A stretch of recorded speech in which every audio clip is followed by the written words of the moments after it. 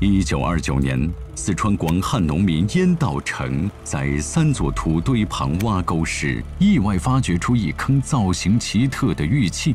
随后不久，参与发掘的燕家父子相继离奇染病。一九三四年，美国考古学家葛维汉对这三座土堆进行了首次考古发掘。从地图上看，三座土堆就像一条直线上排列整齐的三颗星星。因此得名三星堆。在发掘报告中，考古学家留下了这样一句话：“这里充满着神秘的力量。”其实有很大的秘密。沉睡三千年，一醒惊天下。三星堆从一个默默无闻的小遗址，走向了世界。哇！哇！肉眼所看，我都数不清到底有多少件这样的精美的青铜器。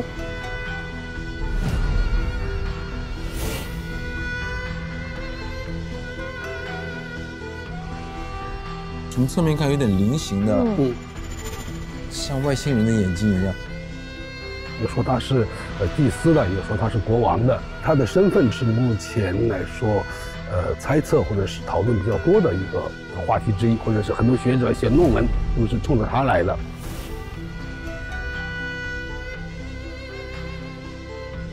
三星堆的发现是很大程度上印证了，就是我们一些古代神话传说的。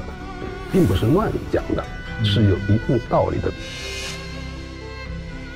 三星堆神秘的文物总能让我感受到神话的影子，我很好奇，在这里真能找到神话真实存在的印证吗？我和丹瑞的文明探索之旅就从这里开始吧。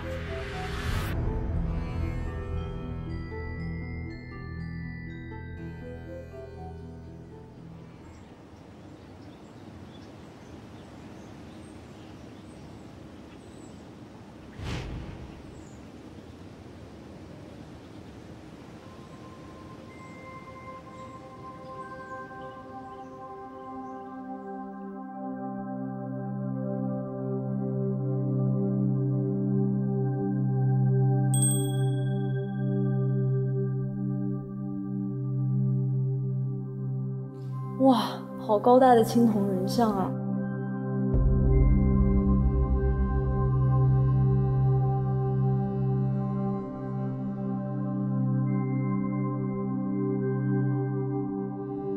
这个权杖上面还有一些花纹。我看到这有鱼，你看这鱼鳞，我觉得太美了，每一个细节都刻画的非常的精致。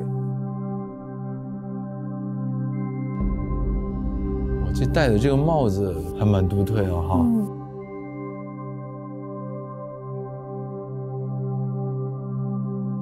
哦，这就是那个贵族人。而且他们俩的跪姿不一样，一个是双膝朝内的，一个是这样的，就像求婚那种。但是我觉得很好看。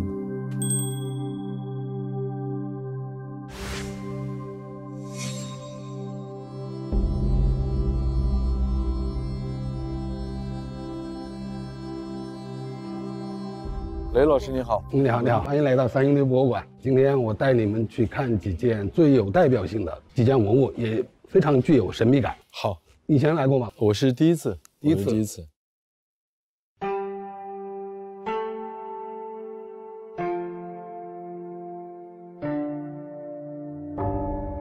老师，这些菱形的、圆形的都是什么呀？眼镜、眼形器、眼形器、眼形器。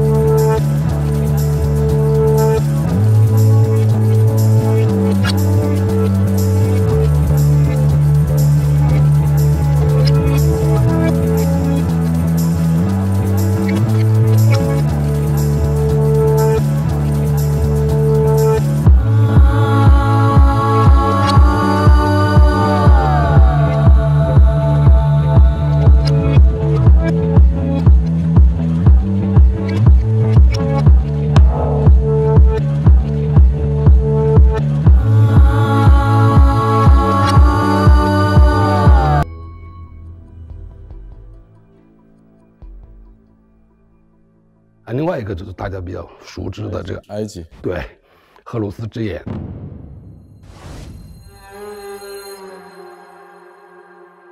呃，荷鲁斯之眼通常是在这个棺材板上或者是棺椁上的描绘出来眼的形状，保护死者在通往来世的路上不受伤害。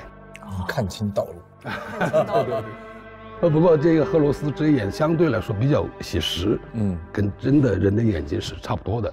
呃，而我们三星堆的是眼睛是比较抽象的。就你特别特别那个毕加索，啊，对对对，很对对对，非常的毕加索。这么夸张的眼睛，是在崇拜什么力量吗？一般来说，跟古代的人类渴望光明、崇拜太阳有关。渴望光明、崇拜太阳。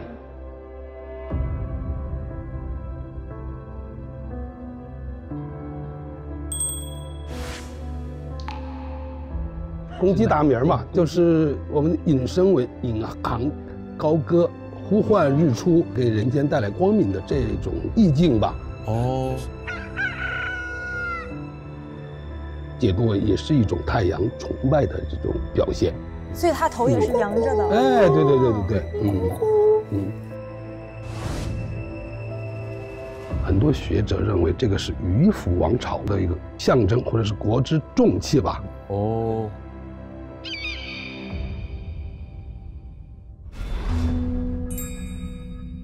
哇，终于签到了！这个就是我们特别有名的那个方向盘了吧？就是双引号的方向盘。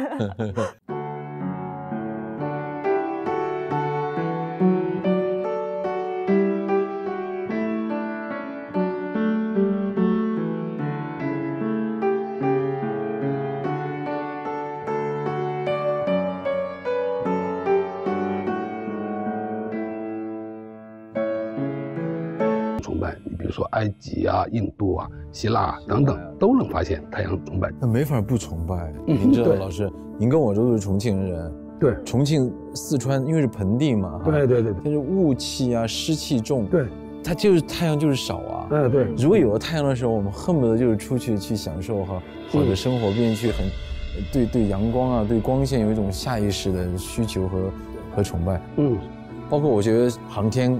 我们已经冲破到天际去，想要去更靠近太阳，所以这个是特别重要的一个，我觉得是一种传承，对太阳崇拜延续到现在吧。嗯，对，古蜀太了不起，太有想象力了。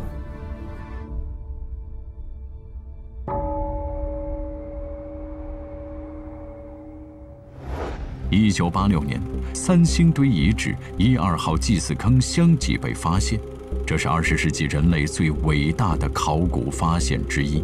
一个地处西南、延续两千多年的神秘古蜀国，开始在世人眼前缓缓揭开了面纱。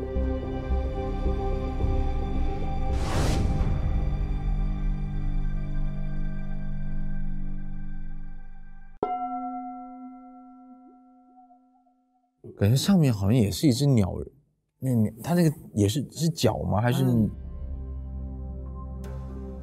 它的鸟的脚，但是腿的话，然后上面一个是人，我觉得人身鸟腿，对对对，鸟爪人身像，鸟爪人身下。这个青铜器它本来就是做成这个样子的吗？嗯，不是，这件东西可惜它的上半身断掉了。卢浮宫不是有一件那个维纳斯嘛？对对对，网友就戏称这是我们东方的维纳斯，因为它。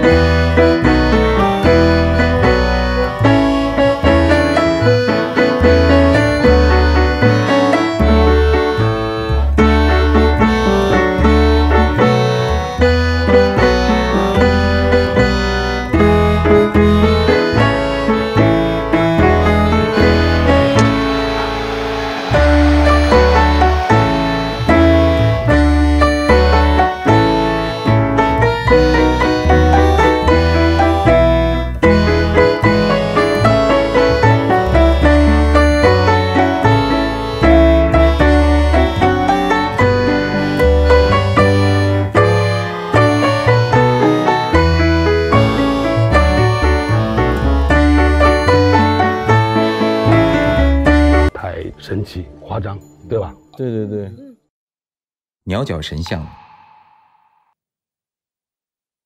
千里眼，被崇拜的神灵，这么有想象力的创作，难道只是凭空想象而成吗？绝不可能。再天马行空的想象力，也离不开现实的立足点。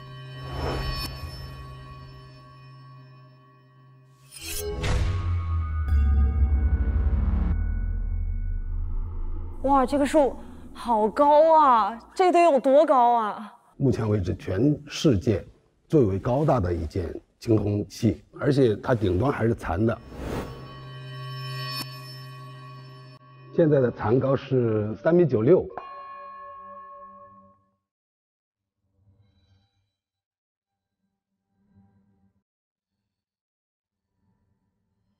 您看那个盘子下面那个精致的火焰纹，好美啊！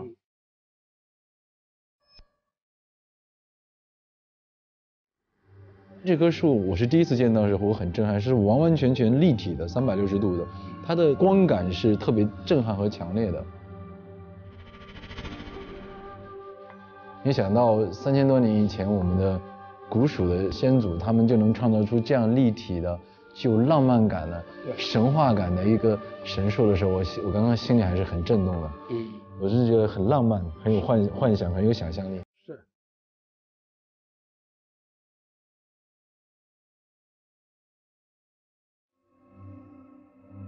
这棵树出土的时候是碎成两千四百七十九片。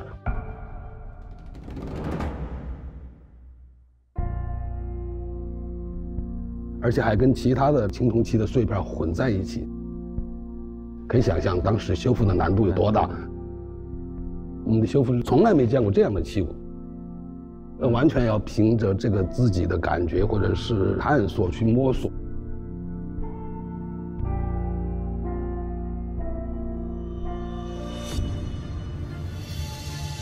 你现在几个新坑里面都有神树枝儿出来了。哦我们寄希望于新的祭祀坑里面发掘，因为有些坑非常可能是同时的，那么也就意味着它的有一些零部件儿到在其他坑里。如果是这样的话，那就是太美妙的一件事情了。这棵树，您觉得它在三星堆时代是什么样的用处？它是祭祀还是是什么？它可能本身就是一件被祭祀的对象，就是。所谓的树崇拜，树崇拜，树，《山海经》里面的扶桑都是反映的古人对于树的一种崇拜。扶桑，神话世界的神树。树崇拜的观念以这种物化的形式来表达出来，只有古蜀文明才有的，只有三星堆人才能做到的。嗯。古蜀人创造了世界最大的青铜树，并把它当作神来膜拜。这和扶桑神树的神话有关吗？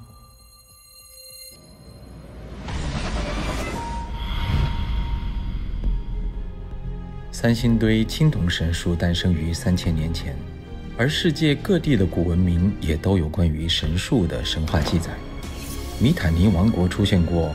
日夷树，亚述帝国有圣树与翌日盘，古印度文明崇尚太阳生命树。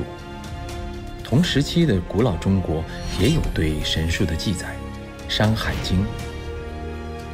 上古时期，在天地的东西两极各有一棵参天神树，东边的叫做扶桑，长在水中，高大挺秀，树上有十个太阳。西边的神树名叫若木，若木长在荒野之中，遍体赤红。每天都有一只太阳神鸟从东方的扶桑树出发，飞向西方的若木树，夜晚再回来休息。它们就这样周而复始，形成了人间的日升月落。有一种说法，就是因为十日嘛啊，现在我们看到了有九只金乌了，那那么另外一只金乌在哪儿去呢？古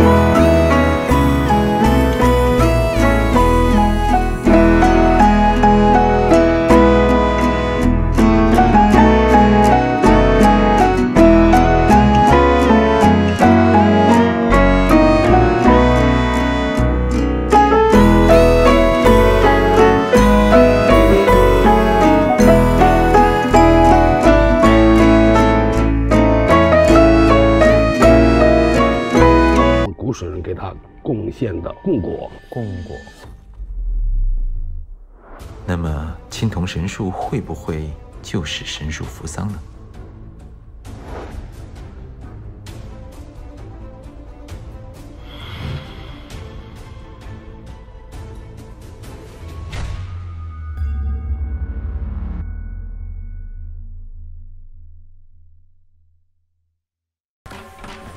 找到了吗？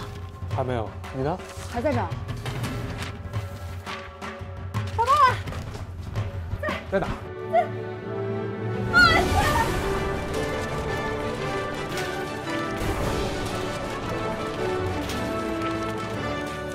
不好意思啊，只能再找一遍了。免疫力薄弱，关键时刻出状况，增强免疫力，喝增健口服液。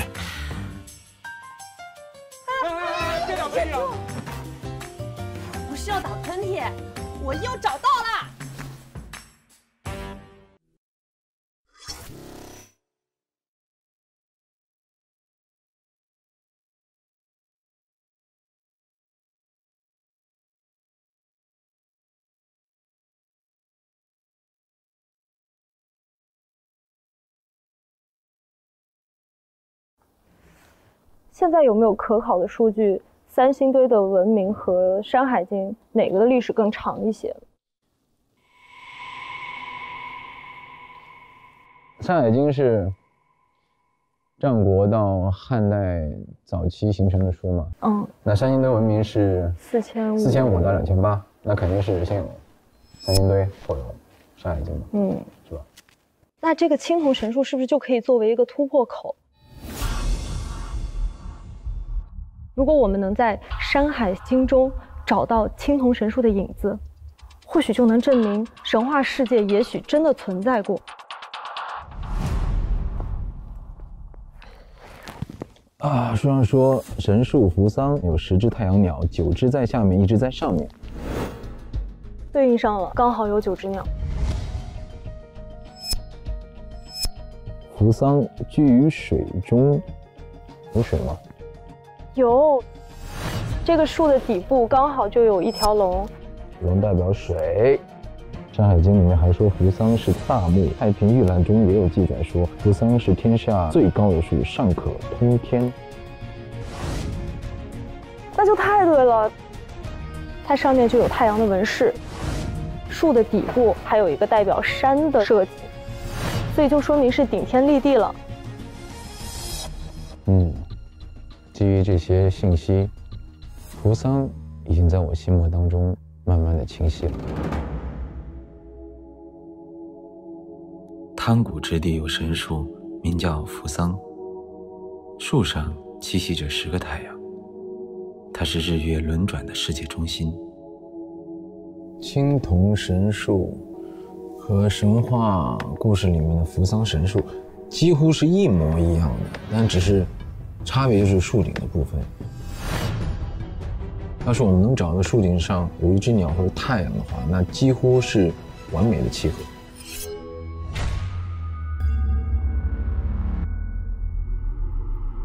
刚才的推理真是太烧脑了，看来得来一点增强免疫力的东西了。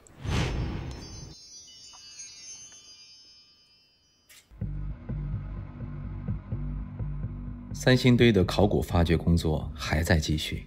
想要证实古蜀人铸造的这棵青铜树与神树扶桑之间的关系，我们似乎只能寄希望于考古发掘现场了。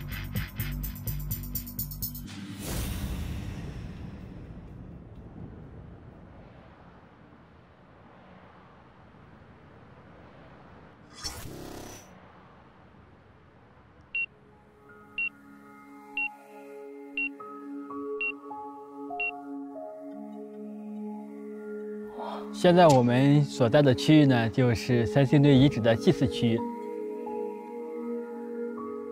一九八六年发现的两个祭祀坑就是在这个区域的。哇！这边这个一号坑就是八六年发现金杖的地方。神树呢？是在二号坑。我们从这边走过去就可以看到。哇！我们来这边换一个衣服再进去。现在我们已经进入了一个相对无菌的环境。对，这边就是一个连接点，就是我们的换衣舱。这个也是我们探索的连接点。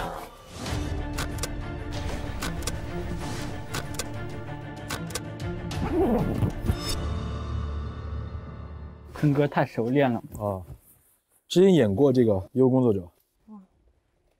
走吧，进去吧。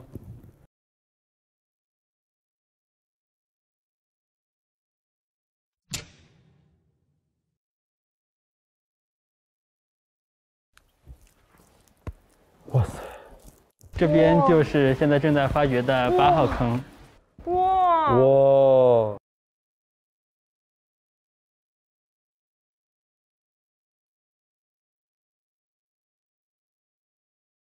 青铜器，哇哇，太精美了，太震撼了！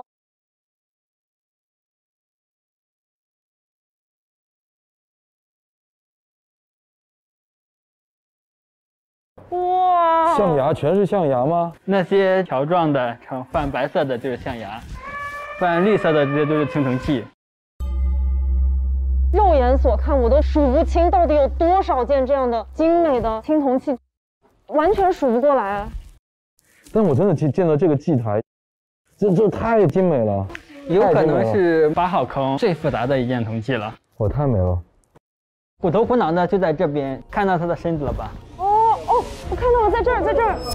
我看到了，看到了，看到，看，我看到了，这上面你看长长的那个。哇！你相信缘分吗？就是虎头虎脑的龙。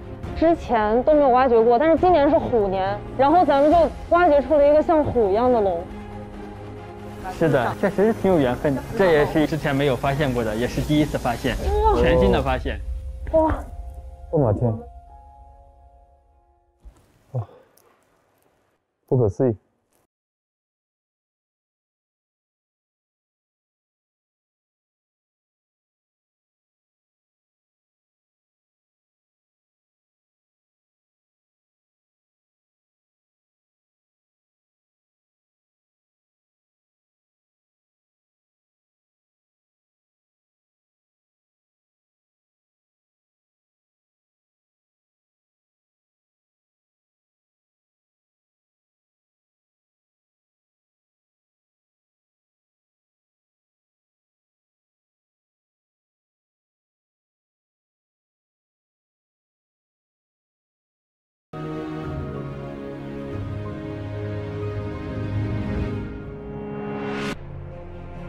没有人知道青铜神树树顶的残缺究竟是什么，但发掘还未结束，一切皆有可能。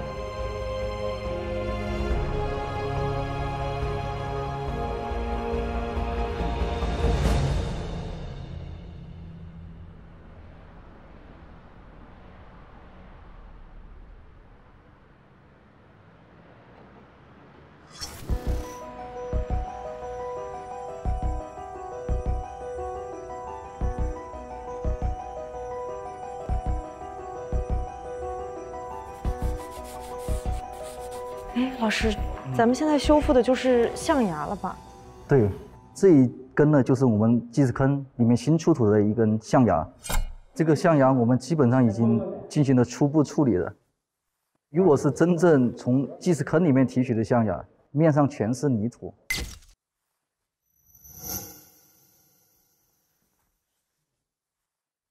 那老师，我想请教一下您。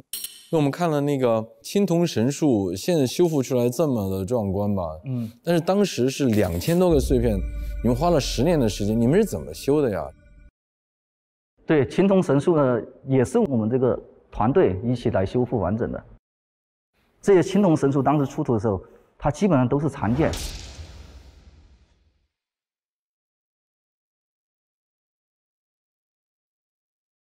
它当时不是说九只鸟。都是完整的，所以呢，青铜神树它修复的最大的难度就在于如何找到这个青铜神树它相对应的这些部件，要再通过部件的这种断岔口进行一个比对拼接，其实就跟我们找拼图是一样的。拼图我们是知道最后它呈现出来的效果，而您可能找到了六到八株，但是实际上没有一株是完整的，您不知道最终的目标是什么，所以你们难度非常的高。对。那我想问一下，我们看了这个青铜神树，我们老在想，那个青铜神树顶上会是什么？应该有可能会是我们那个青铜的太阳轮吗？或者是青铜鸟，还是青铜？是什么呢？你们如果以您，我想请教一下，您会觉得是哪个是青铜神树的顶端？他们放的那一块呢？嗯，目前而言呢，就是我们认为，不管是太阳轮形器，还有我们的青铜鸟，它都跟整个一号神树，它没有就相对应的断岔口，不大可能是在青铜神树上，不大可能是在青铜神树上。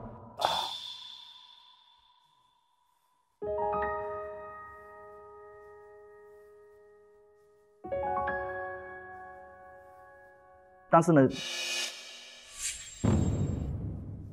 其实像青铜神树，特别是一号神树，它的树冠顶上到底是什么呢？我们可以在很多传说里面去找到有一些相互的这种对应。我们知道，整个青铜神树它有三层，每一层有三只利鸟，然后这样的话就是共九只。所以呢，我们认为像。故意射日这种传说已经有一定的印证。十日传说，羿射日。另外一只鸟，我们会怀疑它会不会就是在这个树冠的顶部。但是呢，按照修复来说，它确实没有修复的依据，没有修复的依据。所以我们就保留我们这种想法，让它能够先空着，也可以让观众或者用游客他们能够根据这种东西去猜测、去猜想。